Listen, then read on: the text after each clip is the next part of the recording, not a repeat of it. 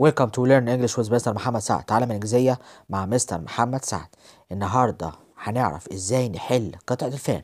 الباسج أو reading comprehension. نحل إزاي قطعة الفهم. أول حاجة أقرأ قطعة الفهم كويس. مرتين ثلاثة ممكن أكتر بس خلي بالك من الوقت بتاعك. أقرأ الأسئلة كويس وأحدد نوعية السؤال.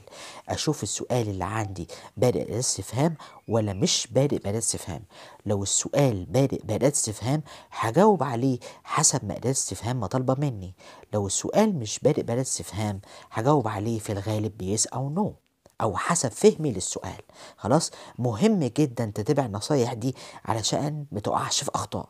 خلاص؟ تقرأ قطع الفهم كويس وتترجمها وتشوف الايه الإجابة المناسبة للسؤال واكتب إجابة كاملة. ما اختصرش قوي في طلبة بتكتب بطريقة إيه مختصرة وبطريقة مش من ناحية الجرامر مش مظبوطة. خلاص؟ ناخد بالنا من النصايح دي. تمام. قطعة الفهم محتاجة تركيز شديد خلاص علشان إيه ما اقعش في اخطاء هنا بيقولي read the following passage and then answer the questions let's read it together تعال نقراها مع بعض My name is Rami I'm a pupil in grade 2 prep My father is a headmaster and his name is Mr. Ahmed I've a pen friend in the USA whose name is Jack. His hobbies are reading, swimming, and watching TV films, while mine are listening to music and playing football. We started to write to each other three years ago. I'll invite him I'll invite him to spend his next holiday in Egypt. I'd like to improve my English to be able to write long letters in English. تمام. أنا كده آه، قرأت إيه؟ قطعة الفهم. خلي بالكم هنا السطر ال 1 2 3 4 5 السطر السطر الخامس هنا المفروض يبقى فيه إيه؟ تكملة على طول. يعني هو طبعا إيه؟ خطأ مطبعي. مش مشكلة. تمام. هقرأ زي ما قلنا القطع الفهم مرتين ثلاثة أفهمها كويس وترجمها. خلاص؟ إحنا طبعا هنترجمها مع بعض دلوقتي. هنا بيقول لي my name is رامي اسمي رامي. I am a pupil in grade 2 prep. أنا طالب إيه في السن في الصف الثاني الإعدادي My father is a headmaster and his name is Mr. أحمد والدي مدير واسمه مستر أحمد I've a pen friend in the USA whose name is Jack أنا عندي صديق مراسلة في الولايات المتحدة الأمريكية واسمه جاك His hobbies are reading, swimming and watching TV films. بيقول لك هواياته هو اللي هي هوايات صديقي القراءة السباحة ومشاهدة إيه؟ الفيلم. خلي بالك لما يكون في لستة بحط كوما reading, comma, swimming and watching TV while mine are listening to music and playing football. يعني بينما هواياتي أنا الاستماع للموسيقى ولعب كرة القدم. We started to write to المفروض في to هنا.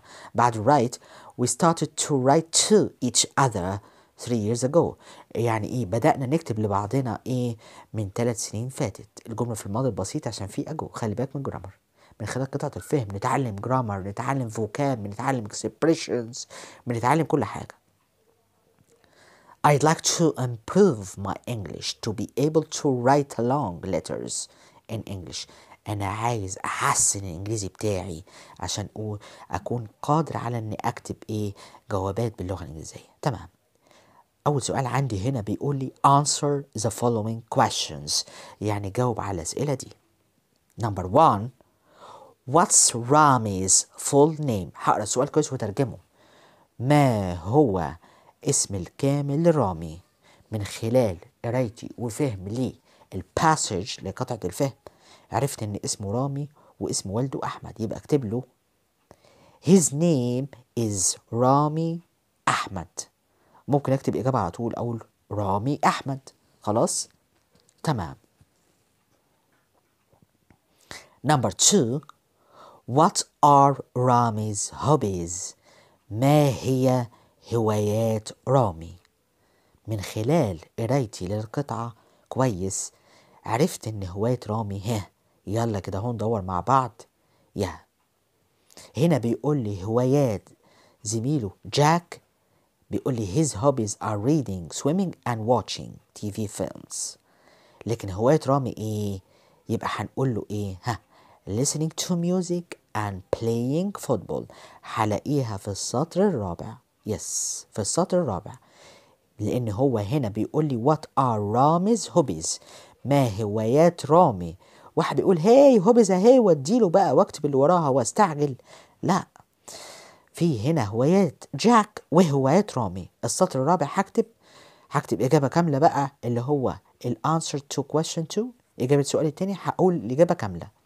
يبقى هقول رامي's hobbies are listening to music and playing football. خلاص؟ تمام.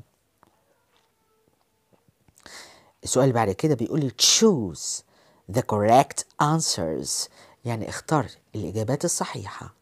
Number three Rami's pen friend is English American Japanese Russian. يعني صديق رامي اللي هو صديقه بالمراسلة يكون إيه؟ إنجليزي أمريكي ياباني ولا روسي. من خلال قراية القطعة لأن أي إجابة ألاقيها في القطعة أي إجابة ألاقيها في القطعة. خلاص خلي بالك. من خلال قرايتي لل للباسج عرفت إن إيه رامي's pen friend is American. ليه؟ لأن هنا بيقول لي في القطعة السطر التاني I've pen I've, I've, I've a pen friend in the USA whose name is Jack. يعني عندي صديق مراسلة في من الولايات المتحدة الأمريكية. يبقى لازم أختار American. يبقى نمبر 3 هقولها تاني رامي's pen friend is American هختار American اللي هي الكلمة التانية في نمبر 3 Number 4 the last one here he is invited to spend his next holiday in Egypt, America, England, China. يعني هو مدعو أن يقضي أجازته اللي جاية فين؟ يبقى جاك دلوقتي مدعو إن هو يقضي spend يعني يقضي. أجازته القادمة فين بقى؟ أكيد ها يس إيجيبت مصر موجودة. عندي الإجابة في السطر الإيه؟ اللي قبل الأخير تقريبا يس. هنا بيقول لي I'll invite him to spend his next holiday in Egypt في مصر. يبقى إجابة سؤال number 4 هختار Egypt. اللي هي بين أقواس number 1 خلاص؟ تمام. وكده. انتهى الفيديو بتاعنا من تعلم الإنجليزية مع مستر محمد سعد. تحت الفيديو ده هتلاقي صورتي. الناحية التانية كلمة اشتراك لونها أحمر. اضغط عليها. لما تضغط عليه هتلاقي الجرس ظهر كده اضغط عليه. لما تضغط عليه هتلاقي كلمة الكل من فوق أو all بال English. اضغط عليها. لما تضغط عليها هتلاقي الجرس عمل كده. معناه الكلام ده؟ معناها إنك فعلت الجرس. You have activated the bell. When you activate the bell you have access to all our notifications. لما تفعل الجرس هيبقى عندك إمكانية توصل لجميع اشاراتنا معناه إيه الكلام ده؟ معناه أي فيديو جديد إحنا بنعمله هيظهر عندك في الموبايل على طول لو أنت مهتم بالفيديوهات التعليمية educational videos واشوفكم على خير فيديوهات جاية كتير لجميع المراحل جميع الصفوف جميع الطلاب. ال Connect وال Connect Plus هنشتغل فيه كله إن شاء الله. بأمر الله. goodbye مع السلامة.